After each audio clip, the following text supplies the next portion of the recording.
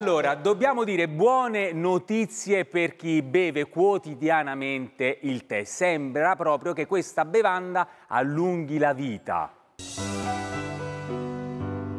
Ed è proprio così. La vedete? È la storia del tè, è una storia antichissima, così come quella della cerimonia del tè. Inizialmente l'infuso veniva utilizzato a scopi medicinali, poi con il tempo la bevanda iniziò a essere talmente apprezzata che il tè iniziò proprio a essere preparato secondo riti diversi, a seconda ovviamente dai luoghi, dai popoli, da chi avevi anche magari a casa. E allora, ecco qui, questo è il momento del tè di uno mattina, andiamo a versarlo. Tra l'altro io vi posso anche dire che non, non, bevo tanto tè, ma da oggi credo che sarà una bevanda che andrò ad apprezzare. Salutiamo subito Gianni Cocco, esperto del tè, e Albino Ferri, importatore di tè. Buongiorno. Allora, buongiorno. Ciao Massimiliano. Intanto, buongiorno, Massimiliano. guarda che bella, guarda. allora adesso veramente chi è che... Allora, questo è il mio invito a uno mattina Immagino tutti vorrebbero una bella, una bella colazione. Eh? Allora, ci fai vedere come se sì. il tè, se uno ti è facile, metto un po' d'acqua calda, metto l'infuso all'interno e andato. Invece in realtà no, c'è una preparazione, un po' come il caffè anche. Assolutamente è un'arte. Io partirei, Massimiliano, raccontandoti un po' quello che è il servizio classico all'inglese, no?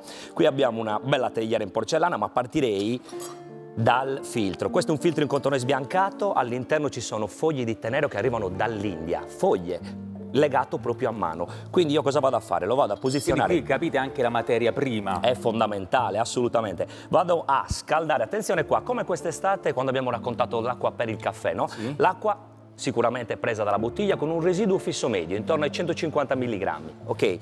La portiamo a 90 gradi perché è un tè nero e lasciamo in infusione per due minuti. Oh. 200 ml all'interno della teiera. Ah, due minuti? Io qua ti chiederei subito, due minuti perché hai scelto quel tipo di tè? Esatto. Oppure per tutti i tè sempre due minuti? Perché no. poi quando, li, quando leggiamo, quando mettevo c'è scritto 5 minuti, 6 minuti. Esatto, ogni tè poi il nostro amico Albino ci spiegherà le ah, differenze ah, no? okay. tra le tipologie. In questo caso due minuti per un tè nero, per delle, delle foglie ossidate va benissimo. Però una cosa importante, Massi, io volevo dare l'attenzione a eh, chi va a consumare il tè al bar, perché è importantissimo non farsi preparare il tè dall'acqua con l'acqua della macchina del caffè, perché è troppo calda, ah. iperconcentrata e stantia. Quindi mi raccomando, fatevi preparare il tè. Ah, quindi glielo dobbiamo chiedere? Eh, dovete dirglielo, assolutamente sì. Hai capito? Eh. Allora, uh, Albino Ferri, eccoci qua. Da dove arriva il tè? Ma guardate intanto quanto c'è, uno dice tè, tè, eh, tè, è facile dire tè.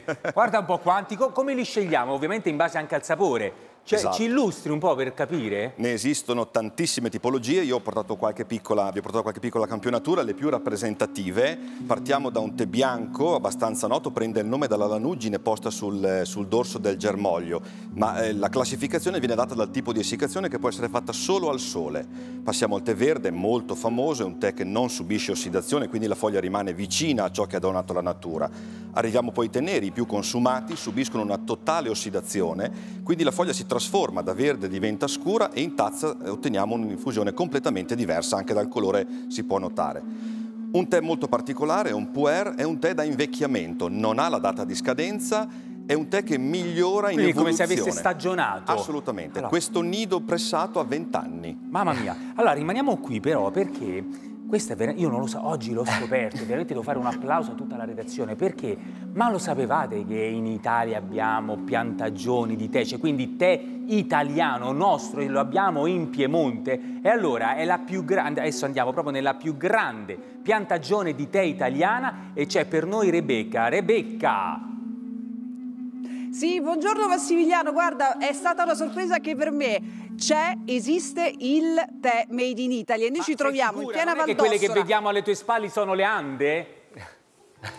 No, no, quelle sono le Alpi che ci separano praticamente dalla Svizzera. Questa era Valdossola e questa che vedi intorno a me è la piantagione di tè per estensione più grande d'Italia. Nata un po' da una scommessa e ti faccio subito conoscere Alessandro eh, Zacchera, Zacchera, Zacchera, Zacchera perfetto, che è insieme al padre colui che ha voluto scommettere su queste piante. E facciamo un pochettino, diamo l'idea dell'estensione, aiutami Manuel. Insomma, erano 500 piantine, sono diventate più di 20.000, vero? Alessandro, vieni qua.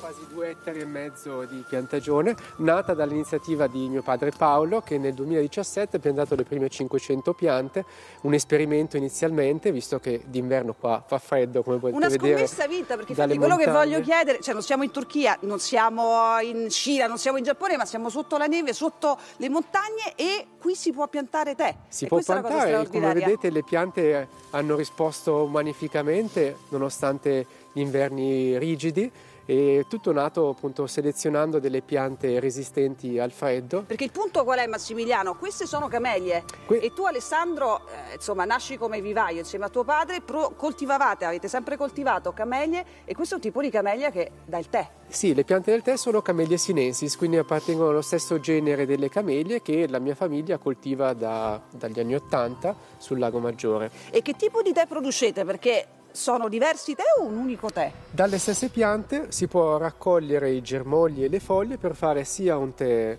bianco, un tè verde e un tè nero. Eh. Quest'anno ci siamo concentrati sulla produzione di tè verde e tè nero. Ok, oltretutto anche premiato Massimiliano, eh, questo tè made in Italy.